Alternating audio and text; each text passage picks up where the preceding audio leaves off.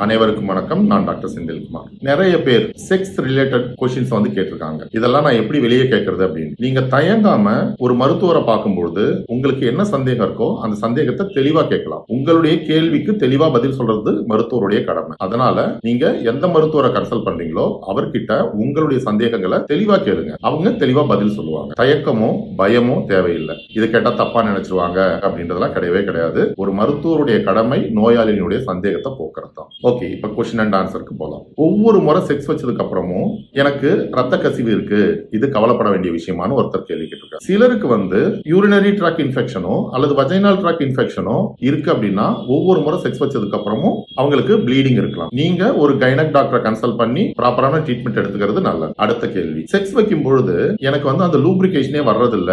Vagina வந்து ட்ரையா இருக்கிறதுனால எனக்கு செக்ஸ்ல வந்து கான்சன்ட்ரேஷன் பண்ண முடியல. என்ன பண்ணலாம் அப்படின்னு கேட்டிருக்காங்க. அதாவது வஜைனல் ட்ரைனஸ் பத்தி கேட்டிருக்காங்க. சில பேருக்கு வந்து அந்த செக்ஷுவல் ஃபோர் பிளேல வஜைனல் செக்ரீஷன் வரதுக்கான வாய்ப்புகள் வந்து உண்டு. ஃபோர் பிளே இல்லாம ஒரு ரா செக்ஸ் வைக்கும் பொழுது அவங்களுக்கு அந்த ட்ரைனஸ் இருக்கக்கூடிய வாய்ப்புகள் வந்து உண்டு. சோ உங்க பார்ட்னர் கிட்ட சொல்லி ஃபோர் பிளேக்கு நிறைய டைம் எடுக்க சொல்லுங்க. ஏன்னா ஒவ்வொரு முறையும் ஃபோர் பிளேக்கு டைம் எடுக்கும்போது வஜைனல் ட்ரைனஸ் மறைஞ்சு லூப்ரிகேஷன் வர்றதுனால அவங்களுக்கு வந்து ஆர்கசம் ஆகிறது ரொம்ப ஈஸியா இருக்கும். பெனட்ரேஷனும் வந்து ஈஸியா இருக்கும். உங்க பார்ட்னர் கிட்ட தயங்காம உங்களுடைய தேவையை சொல்லுங்க. அப்படி இல்ல அப்படின்னா நீங்க லூப்ரிகேஷன் ஜெல் அந்த மாதிரி ஏதாவது வாங்கி நீங்க யூஸ் பண்ணிக்கலாம். பாடியில எங்க ஆர்கஸ்மிக் ஸ்பாட் உங்களுக்கு இருக்குன்றது தெரியும். அதை உங்க பார்ட்னர் கிட்ட சொல்லி அங்க அவரை கான்சென்ட்ரேஷன் அதிகம் பண்ண சொல்லுங்க.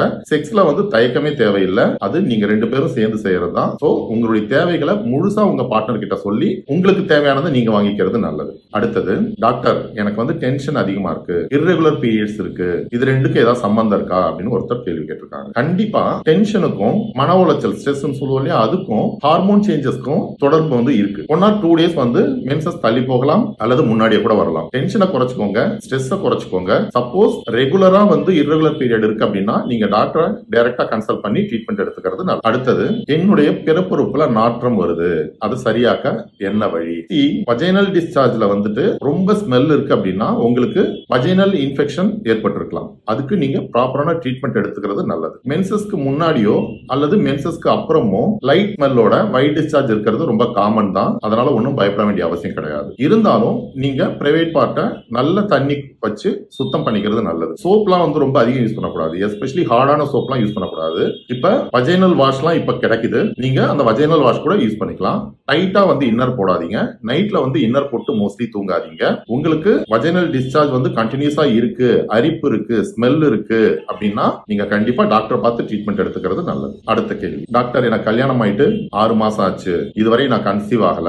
நான் என்ன பண்ணலாம் அப்படின்னு ஒருத்தர் கேட்கறாங்க நான் ட்ரீட்மெண்ட் தான் எடுக்கணுமா அப்படின்ட்டு. சி இன்னைக்கு ஃபெர்டிலிட்டி கிளினிக் வந்து நிறைய வரதுக்கான காரணம் இந்த மாதிரியான அவசரங்கள் தான். பொதுவாகவே எப்ப ஃபெர்டிலிட்டி ட்ரீட்மெண்ட் நீங்க ஸ்டார்ட் பண்ணலாம் அப்படின்னா கல்யாணம் ஆயிட்டு நார்மலா நீங்க ரெகுலர் செக்ஸ் வச்சு குறைஞ்சபட்சம் ஒரு வருஷத்துல இருந்து ரெண்டு வருஷம் வரை கன்சீவ் ஆகல அப்படின்னா அடுத்து நீங்க ஃபெர்டிலிட்டி ட்ரீட்மெண்ட் வந்து ஸ்டார்ட் பண்ணலாம். மூணு மாசத்துல ஃபெர்டிலிட்டி ட்ரீட்மெண்ட் ஸ்டார்ட் பண்றதோ ஆறு மாசத்துல ஃபெர்டிலிட்டி ட்ரீட்மெண்ட் ஸ்டார்ட் பண்றதோ ஒன் இயர்ல ஃபெர்டிலிட்டி ட்ரீட்மெண்ட் ஸ்டார்ட் பண்றதோ தேவையில்லாதது அவசரப்படாதீங்க. ஃபர்ஸ்ட் ஒரு செக்ஸ் கவுன்சிலிங் அல்லது ஒரு பேசிக் இன்வெஸ்டிகேஷன் அதை மட்டும் நீங்க எடுத்துக்கோங்க.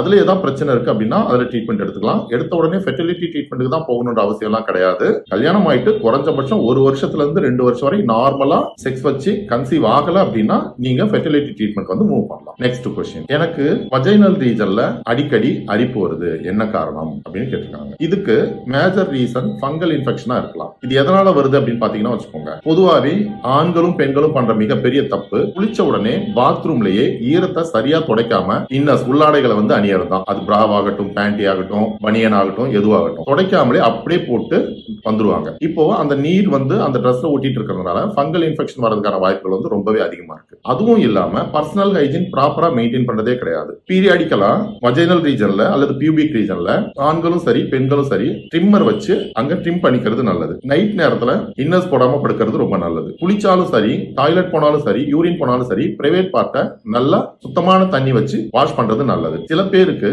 அலர்ஜினால கூட அது மாதிரி வரலாம். ஸோ என்ன காரணத்தினால வருது அப்படின்ட்டு டாக்டர் கன்சல்ட் பண்ணி ப்ராப்பரான ட்ரீட்மெண்ட் எடுத்துக்கோங்க. இது ஈஸ்ட் இன்ஃபெக்ஷனா அல்லது வேற ஏதாவது இன்ஃபெக்ஷனான்றத பார்த்து ட்ரீட்மெண்ட் எடுத்துக்கோங்க. நெக்ஸ்ட் கொஸ்டின் எனக்கு பிரைவேட் பார்ட்ல சின்ன சின்ன வழி இல்லாத கட்டி மாதிரி இருக்கு. இதனால ஏதாவது பயப்படணுமா? அப்படின்னு பாத்தீங்கன்னா இதை பத்தி பயப்பட வேண்டிய அவசியம் கிடையாது. ஃபோர் டேஸ் பாஸ் கூட இருக்கலாம் உங்களுக்கு. சில பேருக்கு தானாவே மறைஞ்சு போயிடும். இருந்தாலும் அது என்ன கட்டி அப்படின்றத டாக்டர் கிட்ட டைரக்டா கன்சல்ட் பண்ணி உங்களுடைய சந்தேகத்தை நிவர்த்தி பண்ணிக்கிறது உங்களுக்கு நல்லது. அடுத்த கேள்வி நான் காண்டம் யூஸ் பண்றேன். அப்போ கன்சீவ் ஆகிறதுக்கான வாய்ப்புகள் வந்து உண்டா? அப்படின்ட்டு. See, சில நேரங்கள்ல காண்டம் வந்து பிரேக் ஆகிறதுக்கான வாய்ப்புகள் வந்து உண்டு. ஸோ கரெக்டான சைஸ் காண்டம் பிளஸ் நல்ல தரமான காண்டம். இது நீங்க போட்டு நீங்க செக்ஸ் வைக்கிறீங்க அப்படின்னா கன்சீவ் ஆகிறதுக்கான வாய்ப்புகள் வந்து ரொம்பவே கம்மி. ஸோ குவாலிட்டியான காண்டம் சரியான சைஸ்ல கரெக்டா நீங்க போட்டு கன்சீவ் ஆகிறதுக்கான வாய்ப்புகள் வந்து ரொம்பவே கம்மி.